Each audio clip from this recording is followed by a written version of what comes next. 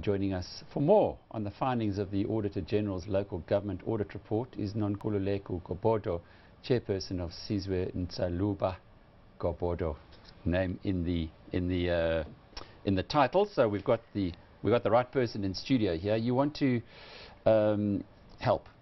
I think a lot of businesses in South Africa want to help. Uh, local government is struggling. Uh, he, he, he, talks a good game, I think, um, but uh, does Simpiwe. But on the other hand, there's, there's much work to be done if only 9% of the audits are clean. How can SNG help? Yes, thanks, Alec. Uh, you know, we have been servicing the, the public sector for a long time. Uh, but I suppose as an accounting uh, firm, you, you, sort of have two feet, you know, one in the servicing the public sector and the other one servicing the private sector, which we should do and will continue to do. But we realize that we cannot just look and do nothing about the situation that is facing our country.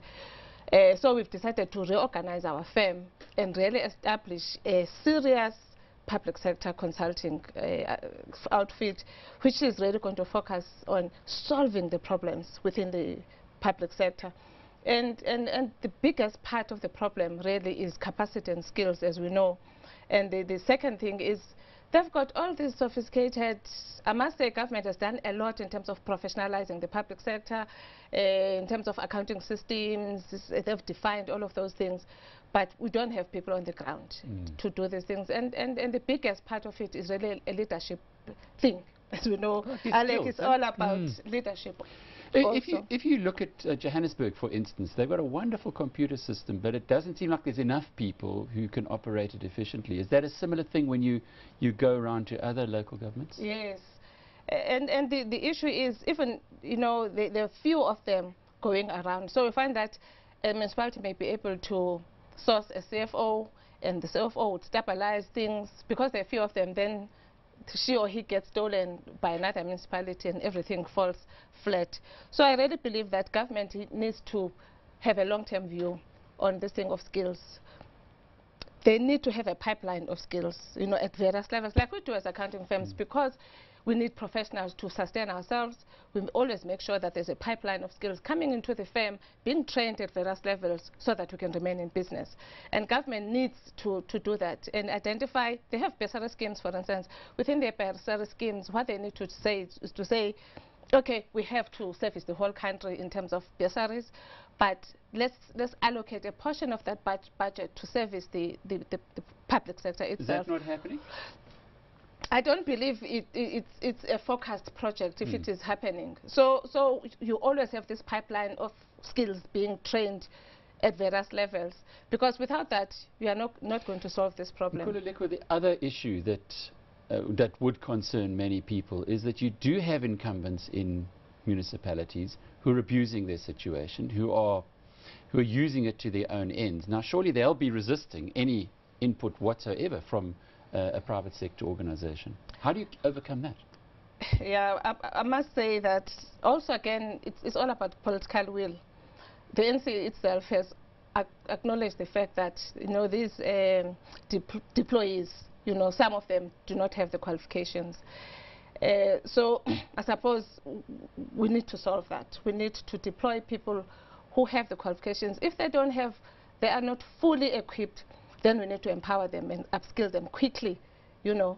Um, but you can't just create an accountant, you know. it takes many years to do that. No, no, you, you, you can't create an accountant. I'm saying you, you, you may just have a BCom and not have full experience, mm. but at least let's have a program to upskill them quickly. But let's but hope they have a BCom if they tell you exactly. they got a BCom. We know that Sunday Times telling one of our doctors ain't got, hasn't even got a degree now. But, but it just seems as though there's so many issues that we need to a, a, we have an ideal, we know where we want to go to, but in the short term, surely there could be greater public uh, private participation. I really believe so. You know, the government is really contributing to the economy. Uh, and, and so many of us who are rendering services to, to the public sector. I think now we need a mutually beneficial relationship where the public sector private sector also contributes to capacitating government and upskilling government. So would you do that at cost or would you expect to make a decent profit out of helping in that way? Because I'm, a, I'm an entrepreneur, I wouldn't say you, you do that at cost. But I think there should be agreement upfront in terms of what that is going to, what form is it going to take. For instance, uh, us as a, as, a, as, a, as a firm, what we've said is that we're having this pub, pub, private, uh, public sector consulting unit where we've identified the problems within the public sector. And, and it's really all about governance and compliance. It's all about uh, financial institution being, you know, fully established. It's all about capacity and skills, and it's all about anti-corruption. So we sort of organize ourselves to answer that question.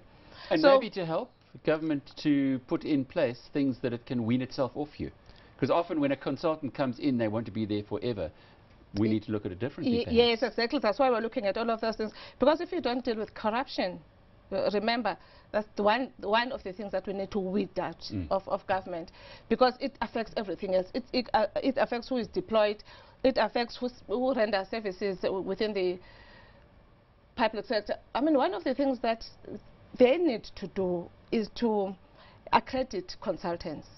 Remember, you, you, you, you can't have a situation where anybody can render services there. What the, the, the Auditor General, for instance, does, they accredit consultants, you have to meet their standards, they test you every year. If you don't meet their standards, they take you out of that list. And I, I think this is what we need to do. We need to accredit consultants so that we know that we have, because we all get brushed with the, Yeah. with the same brush, painted with the same brush.